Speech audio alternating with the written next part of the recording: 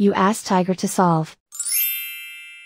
This deals with linear equations with one unknown.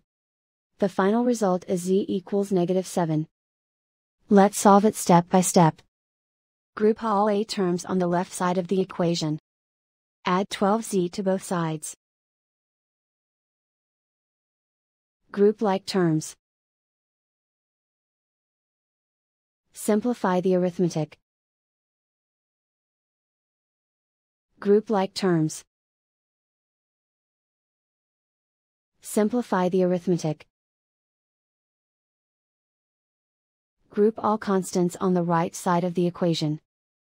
Add 20 to both sides. Simplify the arithmetic.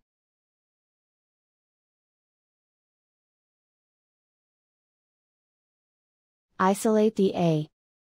Divide both sides by negative 4. Cancel out the negatives.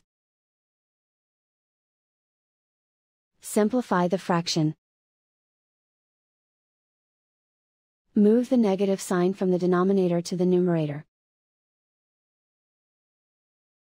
Find the greatest common factor of the numerator and denominator. Factor out and cancel the greatest common factor. And so the final result is z equals negative 7.